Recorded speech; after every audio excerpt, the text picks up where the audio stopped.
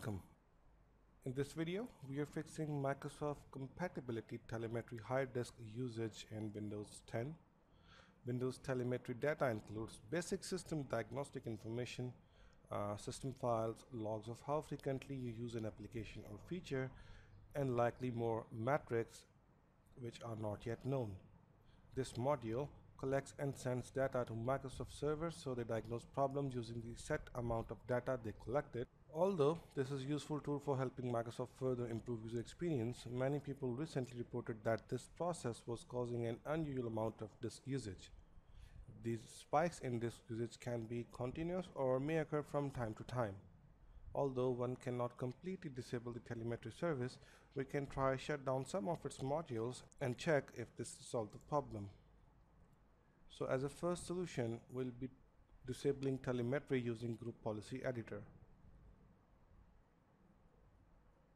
We can try to disable the telemetry service using the group policy. It is possible that some versions of Windows might not have group policy editor installed. You can check our other article on how to add group policy editor to your version of Windows.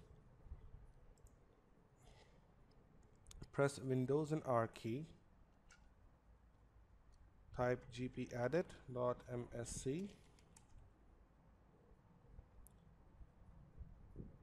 navigate to computer configuration. Let me then administrative templates Windows components data collection and preview builds. Here open the allow telemetry setting and set the key to disabled. Click on apply and then click on OK. Close this window and restart your computer. Once your computer is back online check if this solves the problem. You can check the disk usage by pressing um, Windows and R and type task manager to open the task manager. From here you can check your usage uh, you can check the disk usage by the telemetry service. The second solution that we have is to disable telemetry using registry editor. Registry editor is a powerful tool. If you change keys which you have no idea of you might risk your computer becoming non-functional. So it is recommended to take your registry backup first and then go for the change. Press Windows and R key type regedit click on yes on UAC prompt. First we're going to take a backup. So take an export and say whatever name you want. And save it at any location. Wait for the export to get completed. Alright now navigate to HK local machine software policies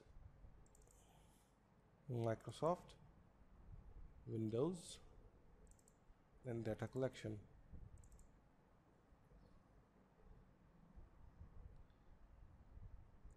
If you find a key saying allow telemetry here just double click and open it. If you don't find one we can create one for the telemetry.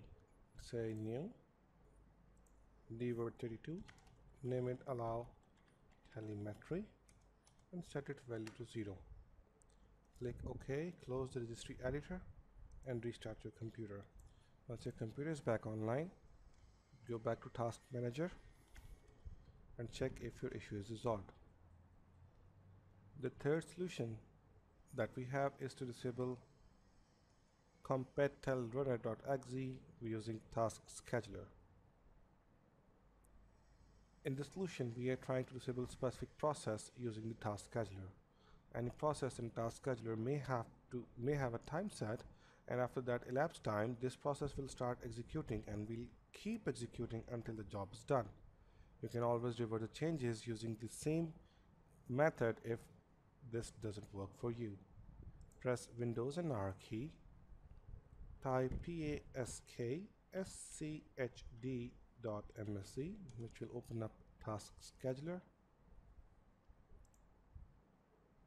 Now navigate to task scheduler library Microsoft Windows.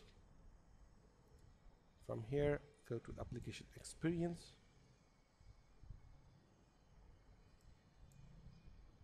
In application experience you'll find a task named Microsoft Compatibility Appraiser.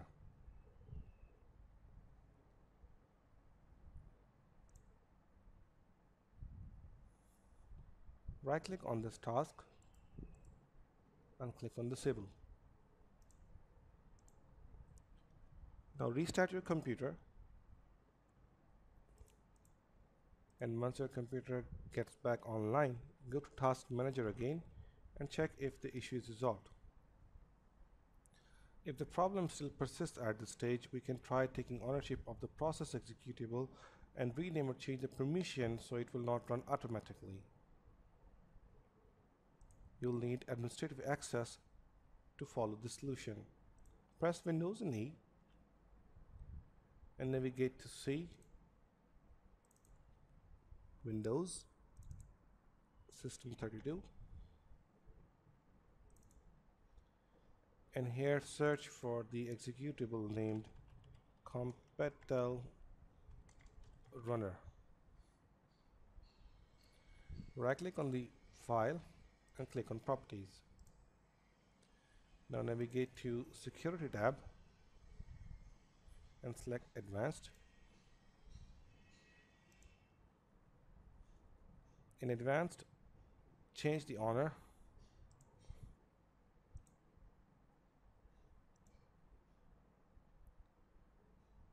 click advanced again and click on find now from here you can check select your account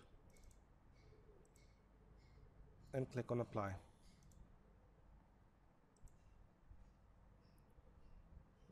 now your account is owner of this executable. Close the program.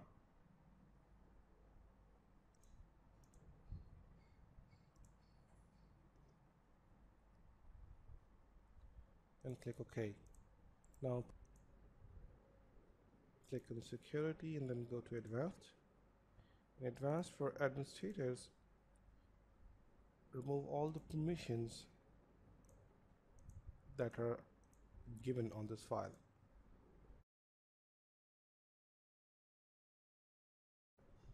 If this still doesn't help, you can delete this file or you can just rename it uh, so that it won't be running again. Restart your computer and check if the problem is solved. I hope this video will be helpful for you. Thanks for watching and don't forget to subscribe our channel.